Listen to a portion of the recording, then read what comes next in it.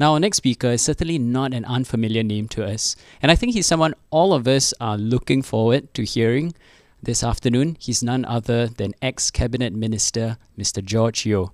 He's currently a visiting scholar at the Lee Kuan Yew School of Public Policy at the National University of Singapore.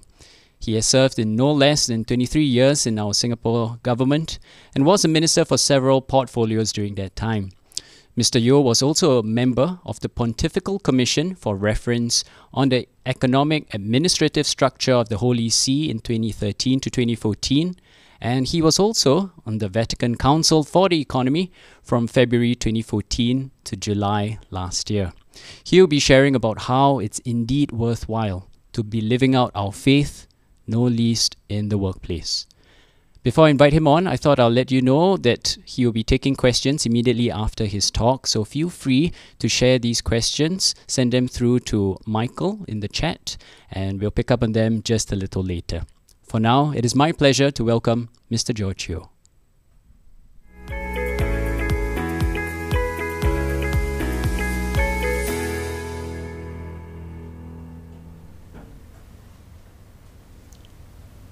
Christ at work in business, it is sometimes difficult to be a Christian. For example, uh, let's say we are in finance and we receive a tip, short the market. Short the market. Having taken a position, you want to you want the market to go down. So you have a lot of negative feelings. If good news are reported you're not happy. You want bad news. Or people who collect works of art. Sometimes in humor, but only half in humor, they said once the artist has passed away, the value of the artwork goes up. Every day in business, because we've got to make profit, we have wishes and desires which are not always Christian. We have old staff, they're expensive, they are not as familiar with technology as younger ones. We find excuses to retrench or retire them. So these are moral dilemmas. Sometimes we shut ourselves off from these thoughts. We treat business as amoral. It's just a game we play.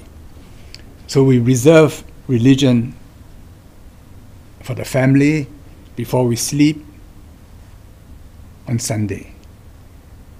But a large part of our life is at work, is in economic life. This was the, the great insight of the founder of the Opus Dei, Jose Maria Escriva. He established the University of Navarra. And in 1958, with the help of the Harvard Business School, he established IESE Business School in Barcelona. I've been an advisor to IESE Business School for or maybe 12 to 15 years. It is like any other business school, case study, understanding of accounting, financial markets, marketing, product development, and so on. But every case study involves a discussion on the moral dilemmas in business. If we don't feel a dilemma, if we are not wrestling with our own conscience, then we become amoral and immorality quickly leads to evil. This is something that Christ at work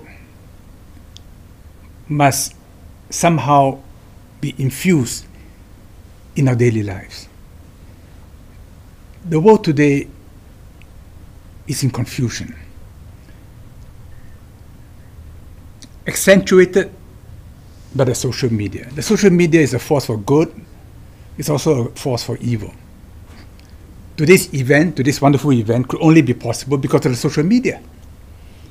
And despite COVID, we're able to, to be in communion, to be one, with one another, to communicate, to enjoy each other's company.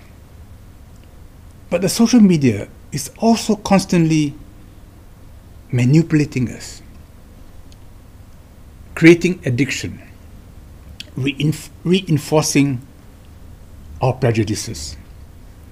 So we have to be careful that we don't unwittingly get sucked into negative eddies, negative whirlpools, and with each turn sinking further and further. There is today a culture of condemnation. We are taught, in fact, we are incited to be angry, to criticize, to see the evil in the others. And the social media gives us echo chambers to reinforce all this negativism. It's much easier to reinforce negativism than to reinforce positivism that we all know. This morning, before coming here, I read that President Biden called Holy Father in Rome. They didn't talk about abortion. Holy Father told Biden that he's a good Catholic and please continue to receive Holy Communion. So Biden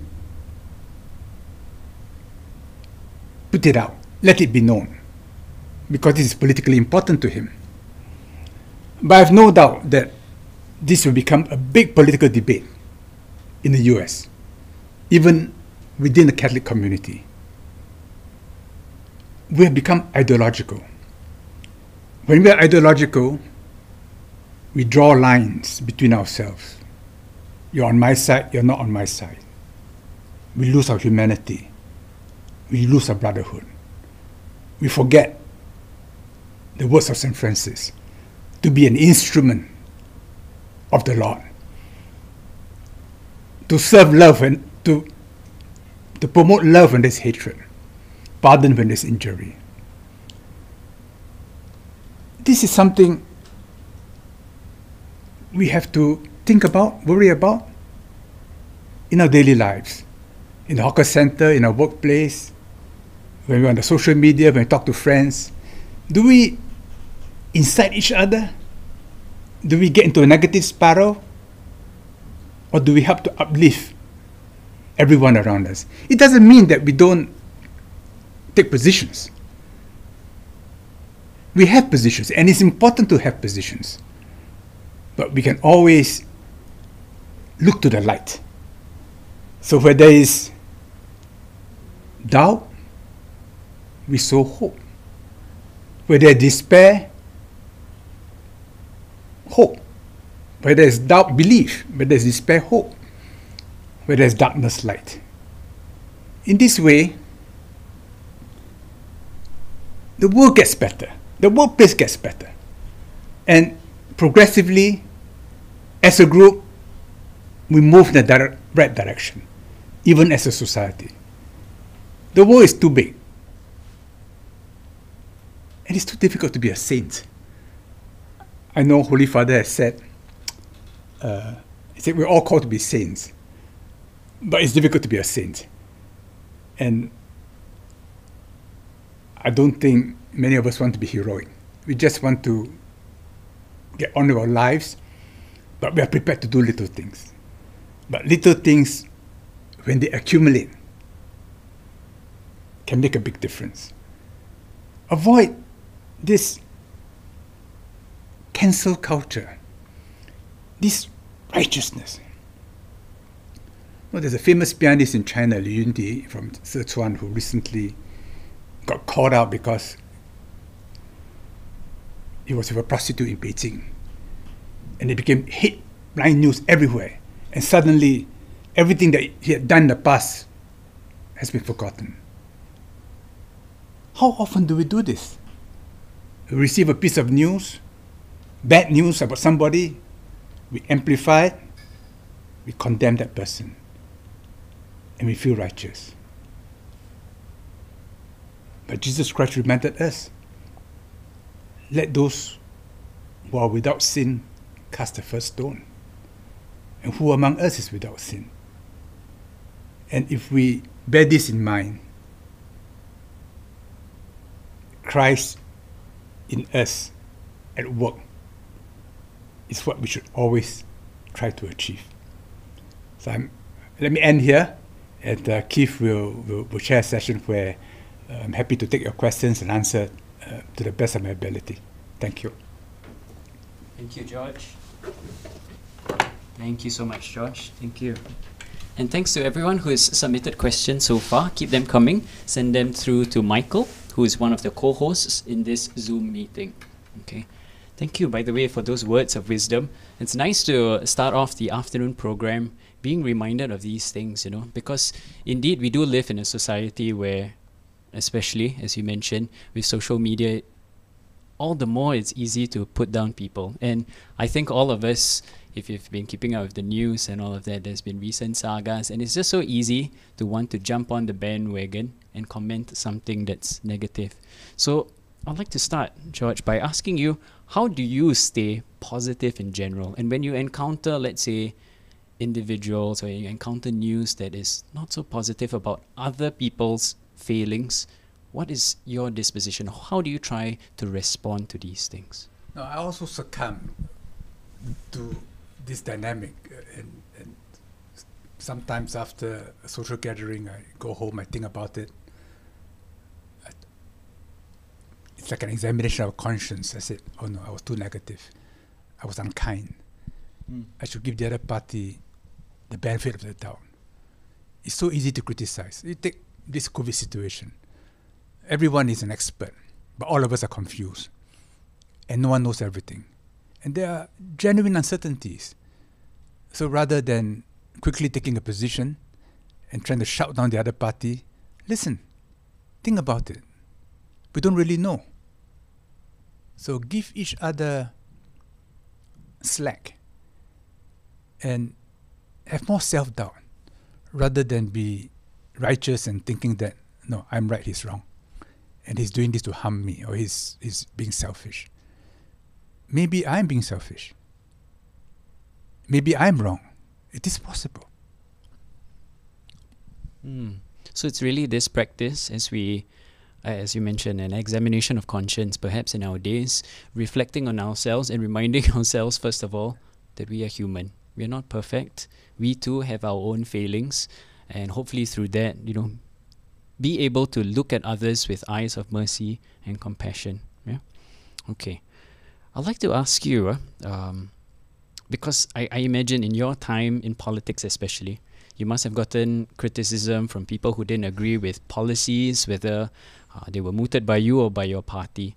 What was that experience like? You know, being on the receiving end of such criticism. What was that like for you, and how did you, in a way, bring your faith into the picture and perhaps also bring encouragement into that environment around you? You can't go into politics if you don't have thick skin because whatever you do, you'll be criticized, sometimes fairly, sometimes unfairly. And you're required to put on a brave front. And even when something hurts, you kind of file it away, but it comes back to you. Some people have become callous, so they no longer feel these things. I think that's wrong. It's important to remain sensitive inside, to wrestle with your conscience. The day we stop wrestling with our conscience, I think that day we're in trouble. Sometimes a good word a whisper of encouragement, a gesture of kindness uplifts you for the entire day. Jacks up your morale and you feel spirited, happy, joyful. All of us have experienced uh, such moments. So if we can experience this, others will experience it too. And if a kind word sincerely spoken, can make such a difference to our spirit. Why don't we in turn be kind to others and lift up their spirits.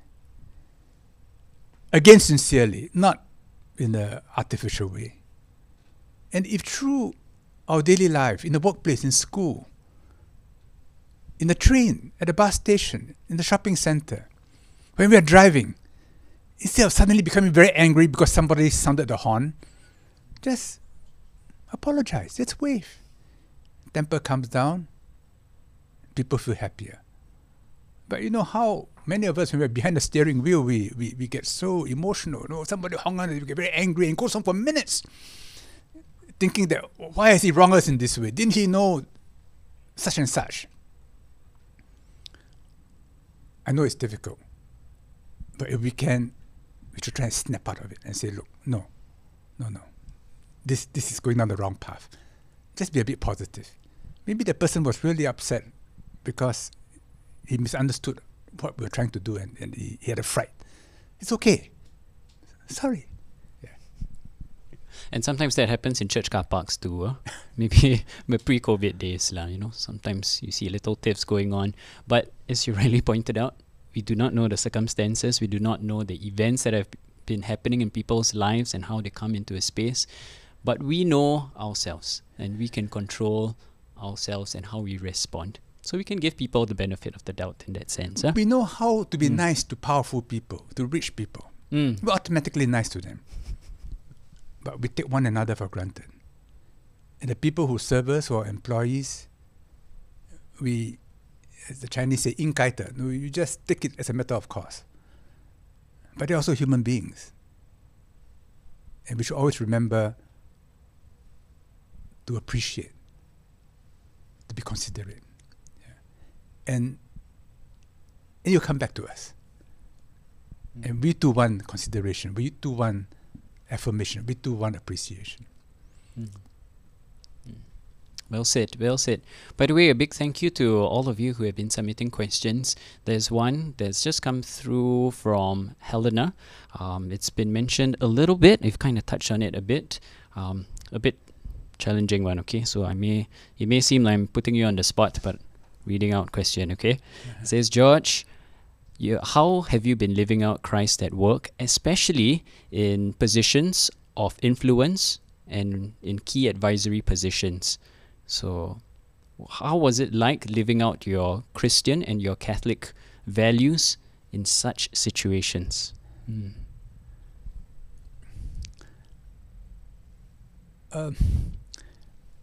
It's hard for me to talk about myself um, let me put it this way that I'm bothered by these things. And it soaks up emotional energy. Sometimes I ask myself, why don't I just ignore it? You know, let it like water off a duck's back.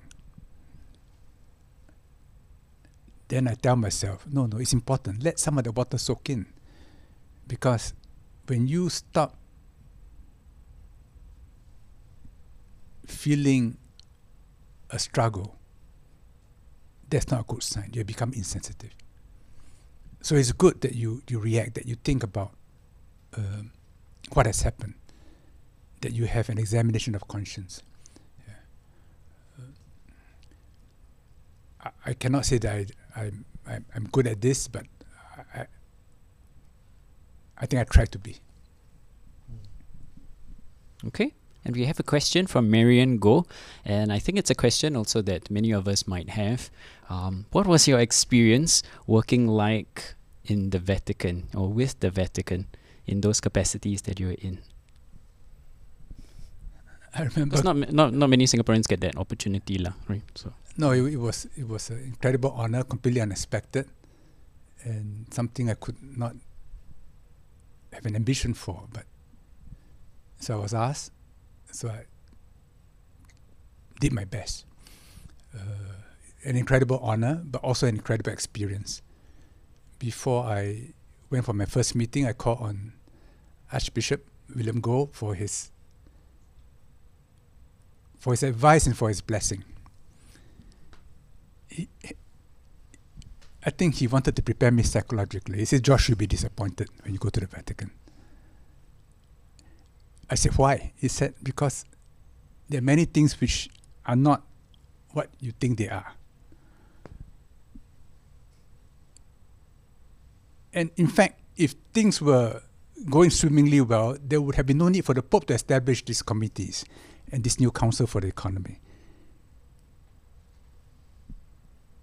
But I know he was preparing me psychologically. Then he prayed for me, which I appreciated. The Buddhists have this illustration that from the mud, the most beautiful lotus spring forth. So one can say, oh, there's so much mud. But look into it. There are things happening, and goodness comes out of it. If one spirit is of only of condemnation, you will never have lotuses. But if you have a positive spirit, there will be blooms. And sometimes the international media, any scandal in the Vatican, they will, they will headline and underline. Well, rightly so. But the church also does wonderful things all over the world, much of which is underreported. The church has many heroes, many of whom are unsung. But we are not doing these things for the power and the glory. We are doing it because it is right and because it brings glory to our Creator. And we are judged not by what we say, but by what we do. And if in our little ways, in the workplaces, when we are driving at the shopping center, at a hawker center, little acts of kindness, people say, Who is he? Oh, he's a Christian. They are like that. In that way, we evangelize. Yeah, actually, that was something that came up in this morning's conversation in one panel discussion. It was very clear, you know, this common thread of how all of us, in our own little ways, all of us are Christ to people by our very example, just by the little acts of love that we bring. You know, one person even said, We are quite possibly the only sermon some people will ever hear because they will never step into a church.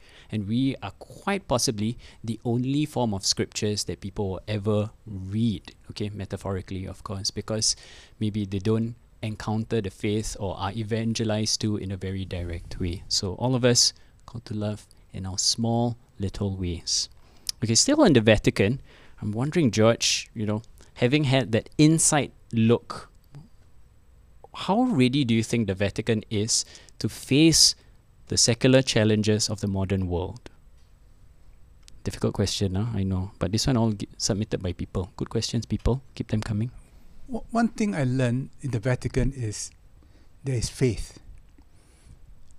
I remember once talking to a cardinal about the Vatican's relationship with China, which has been difficult. In the 19th century, the Western powers when they were impinging on China, they demanded that pastors and priests be allowed to enter China against the wishes of the Qing court.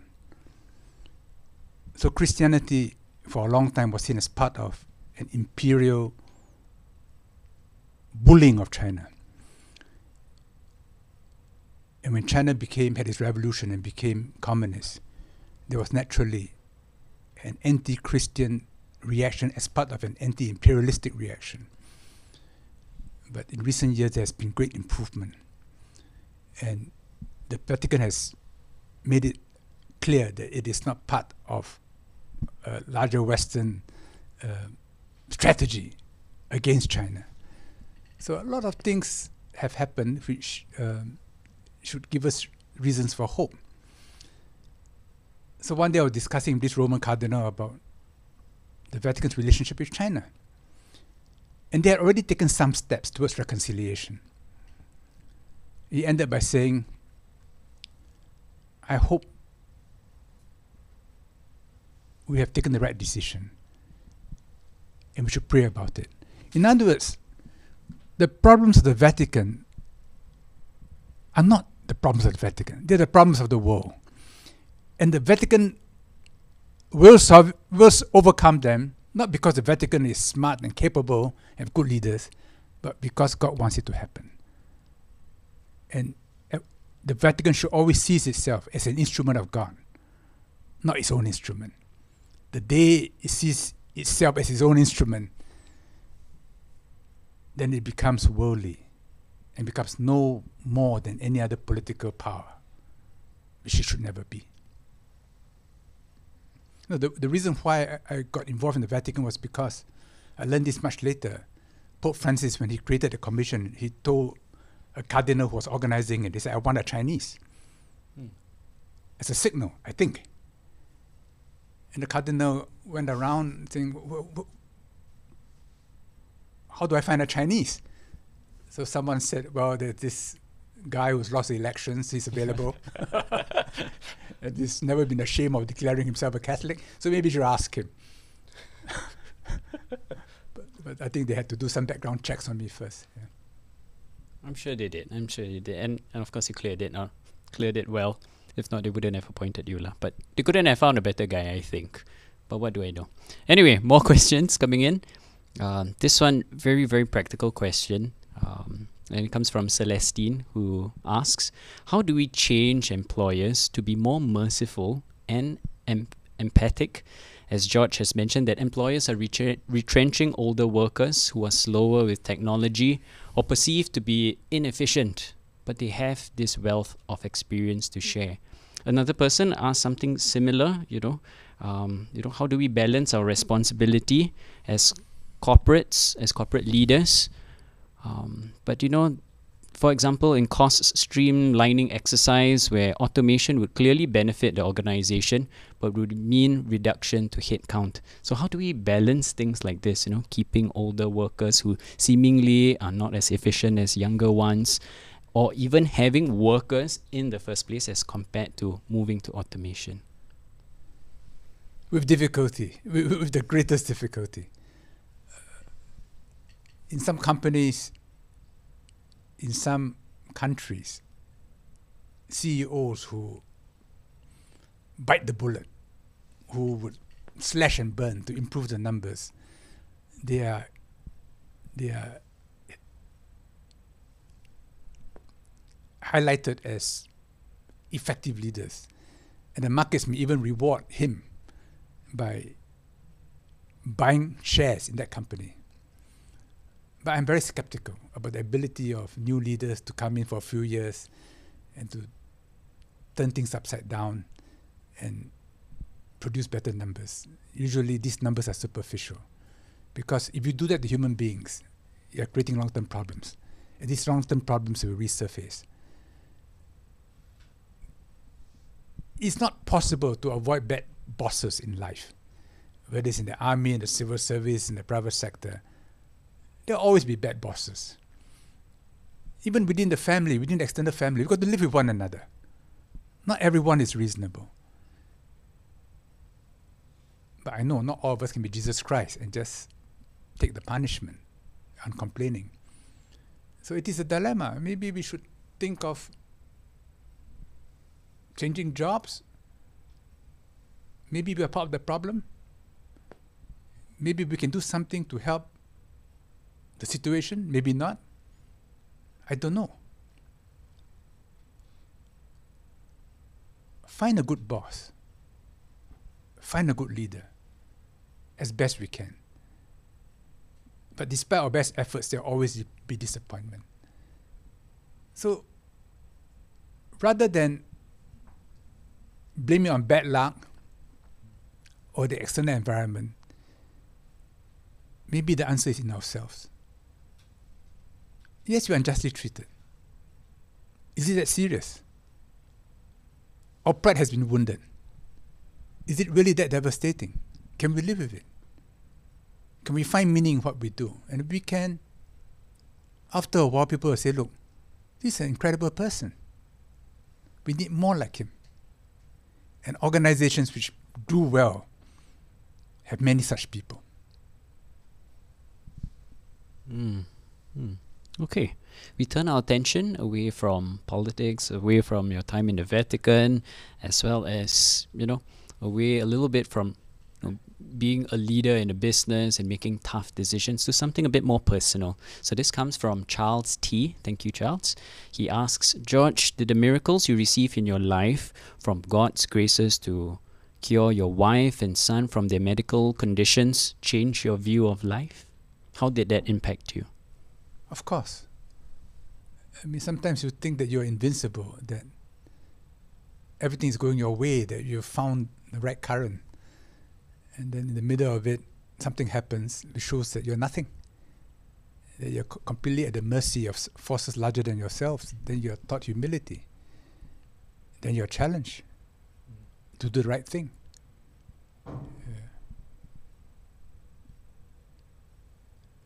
I think it's important when we succeed, when we do well,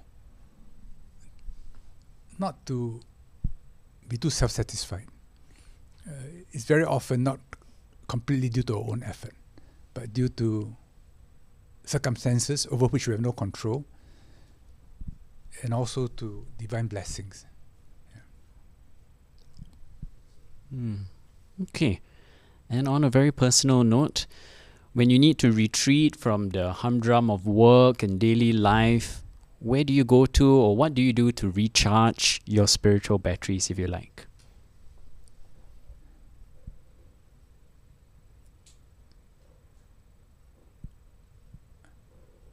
I I'm a bit of a Taoist. So I I, uh, I, I do Tai Chi. I I, uh, I do some calligraphy. So I, I tend to introspect. Uh, and of course,